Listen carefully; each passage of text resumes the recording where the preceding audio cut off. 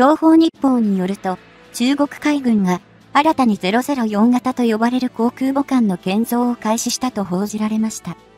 この記事で、その最新の中国製空母004型の詳細について深く掘り下げてみたいと思います。しかし、中国の真に注目すべき計画は、2030年までに5隻、2049年までには10隻の空母を保有するというものです。今回の新型空母の建造は、この大胆な目標に向けた重要なステップとなるでしょう。この計画からは、明らかに緊迫感が伝わってきます。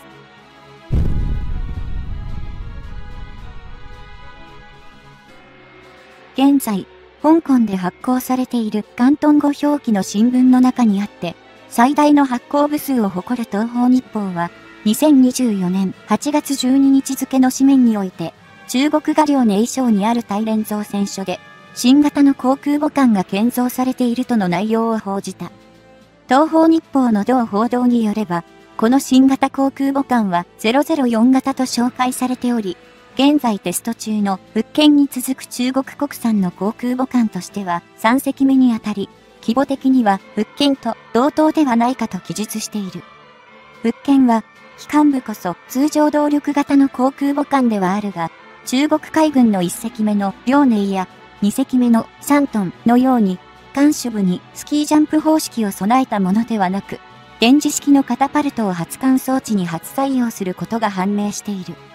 今回、東方日報が報じた004型と、召される新型の航空母艦は、規模的には物件と同程度と見られるが、ついに、機関部には中国海軍の航空母艦として、初の原子力推進を搭載するのではないかと推察されている。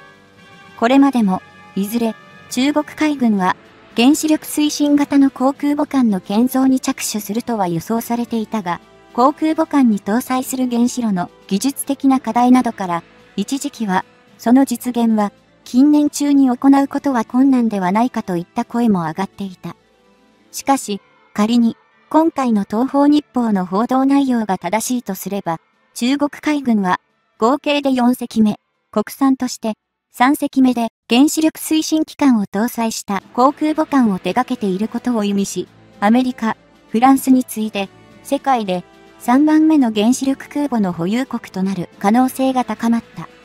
今回の東方日報のこの報道には、実は伏線とでも呼ぶべき動きがあり、それは今年2024年3月に中国海軍の高官が合計で4隻目国産として3隻目の航空母艦の建造を認め、その動力がいかなる方式となるのかも近日中に公表されるだろうと述べたことだ。現段階では、大連造船所で建造中と伝えられた中国海軍の004型航空母艦の機関が原子力推進方式であるのか否かについては中国当局が公式に認めたわけではなく、あくまで東方日報がインターネット上の情報を集約した上での推察にはなる。では、改めて、これまでの中国海軍の航空母艦の配備状況を振り返ってみると、まず、2012年9月に、1隻目の航空母艦、遼寧を収益させており、同艦は旧ソ連時代に建造途中だったアドミラル・クズネツォフ級航空母艦の2番艦ワデャーグを改修したものだ。アドミラル・クズネツォフ級航空母艦の2番艦ワデャーグは1985年に寄港されたが、1991年の旧ソ連の崩壊に伴い、不与曲折を経て、その余波で独立国となったウクライナの所有物となり、最終的に中国がスクラップの名目で1998年に入手した。そこから14年を経て、中国は、なんとか自国海軍の一隻目の航空母艦、遼寧として収益させ、旧ソ連時の使用と同様に、初艦時には、ガンシュ部のスキージャンプを使用し、着艦時には、アレスティングワイヤーを用いるストーバー方式の航空母艦となった。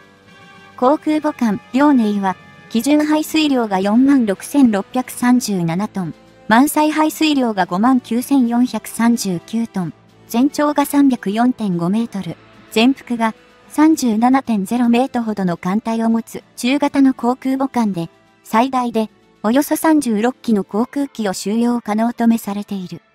この両年をベースに続けて、中国海軍が初の国産の航空母艦として建造を行ったのがサントンであり、2013年11月に寄港、2017年4月に浸水、2019年12月に収益を果たし、発着艦の機構もストバー方式を踏襲している。3トンは、基準排水量が5万6000トン、満載排水量が6万7000トン、全長が315.5メートル、全幅が38.0メートルの艦隊止めされており、ベースとなった両ネイから若干の大型化が図られたことが数値上からは伺える。3トンでは、ベースとした両ネイと比して、艦隊が若干大型化されたこともあり、艦内の格納庫のスペ、スもおよそ2割ほどが拡張されたとめされており、そのことから、最大で収納可能な航空機も46機ほどまで増加した可能性がある。それは、関西の主力戦闘機である J15 の収容数換算で6機に相当すると考えられており、練習用の航空母艦と位置づけられる遼寧に対して、3トンは初の実践的な運用を中国海軍が行った艦艇と認識されている。ただし、遼寧やその拡張版とも言うべき3トンは、関西機の発着艦に、ストバー方式を採用しているため、発艦時には、カタパルトでの射出を使用し、着艦時には、アレスティングワイヤを用いるキャタバー方式に比して、関西機の運用効率が低いと指摘されてきた。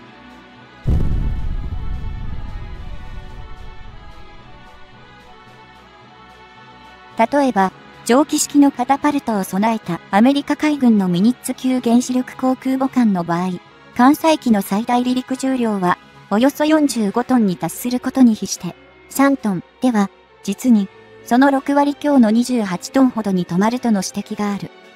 これだけ艦載機の発艦時の重量に差があると、遼寧や3トンが艦載する主力戦闘機の J15 では空対空ミサイルしか兵装として搭載することができないと思われ、対艦攻撃や対地攻撃が可能な兵装の運用は困難と見さされている。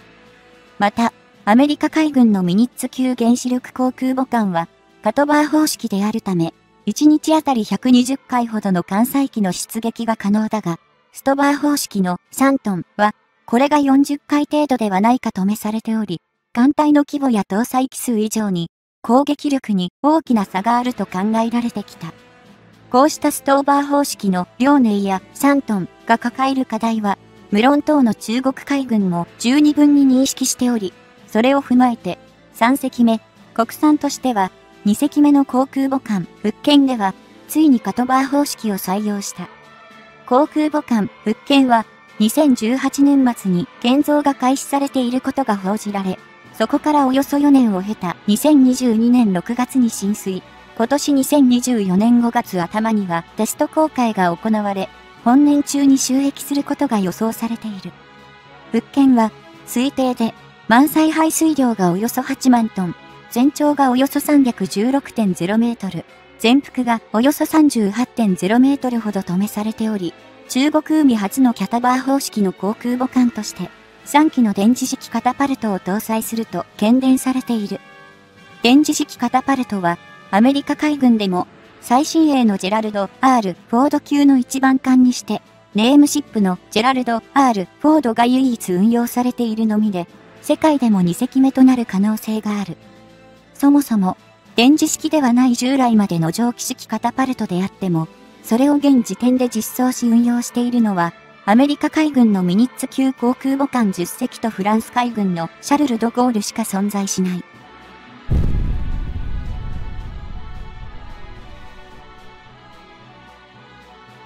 そして、フランス海軍のシャルル・ド・ゴールの蒸気式カタパルトも、アメリカが提供したものであるため、その製造は、アメリカ以外の国が成功させたことは、これまでの歴史の中でも起きていない状況だ。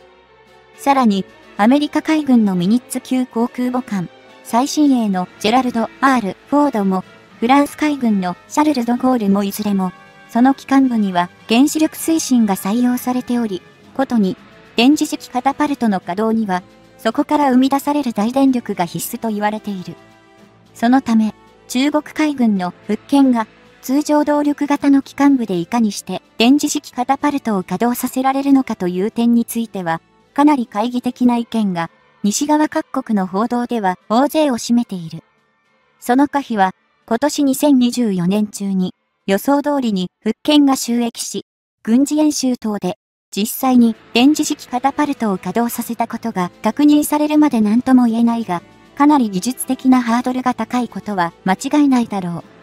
う。そんな復権の世界が注目する収益の予定であるこの2024年に、中国海軍が次の4隻目の航空母艦の建造を進めており、それが原子力推進である可能性があることについて、その軍拡の速度には改めて留意が必要と思われる。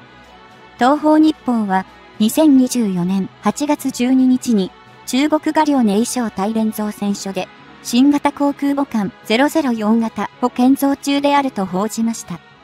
この航空母艦は復権と同規模であり、中国国産の航空母艦としては3隻目にあたります。